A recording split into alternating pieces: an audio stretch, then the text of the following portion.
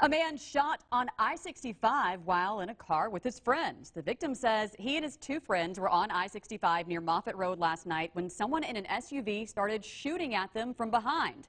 Their car was hit multiple times. Now, the man who was shot was treated at an area hospital, and his injury is said to be non-life threatening. The victim told officers he does not know who shot him. A suspect is not in custody.